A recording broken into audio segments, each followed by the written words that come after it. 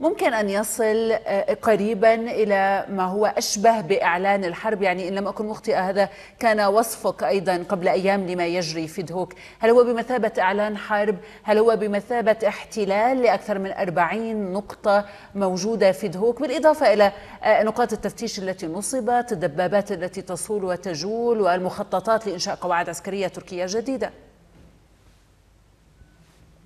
ست حلا يعني أكيد احتلال. أنا يتكلم من وجهة نظرتي العسكرية طبعا يعني م. أي يعني أي تجاوز على الحدود العراقية من أي دولة كانت مهما كانت هذه الدولة بدون موافقة الحكومة واختراقها ودخول عجلات مدرعة وأسلحة وقتال وجيش طبعا هذا يعتبر احتلال وإلا أنت بأي حق تخلي سكان قرى واغضيه ونواحي من مناطق هي تابعة لدولة أخرى وتجبر أهاليها بالتنقل إلى منطقة أخرى ويعتبرون نازحين وهذا كلها يعني لم تكن بموافقة عراقية. نعم يعني أنا أكرر وأعيد إلى أن هنالك اتفاق مبدئي ما بين العراق وتركيا على ضرورة تمشيط الحدود العراقية التركية التي تحد بحدود العشرين كيلومتر ما بين الدولتين ولكن على أن يتم تجاوز حسب معلوماتي الأخيرة الآن وصل يعني الدخول واختراق هذه المناطق إلى أكثر من 70 كيلو متر تدرين 70 كيلو متر هو رقم يعني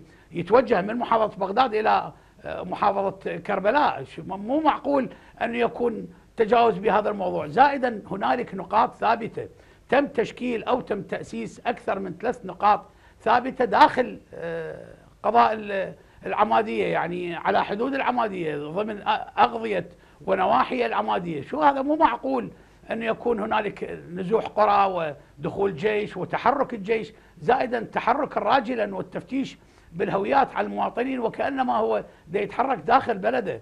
هذه أنا أتصور إلى أن هنالك ردود أفعال عراقية. نعم كان العراق متعاون بهذا الموضوع. نعم نحن نرفض وجود حزب العمال الكردستاني بقتاله مع الجارة تركيا. نعم هنالك علاقات قوية مع تركيا. نعم هنالك اتفاق مبدئي ما بين حكومة المركز والإقليم. نعم هنالك اتفاق مبدئي ما بين حكومة الإقليم وتركيا. ولكن يصل الموضوع إلى أن يكون هنالك خرق لهذا طيب. الموضوع وكأنما هو خرق للسيادة العراقية وأعتقد إلى أن الموضوع يجب أن يحل خلال الأيام القريبة القادمة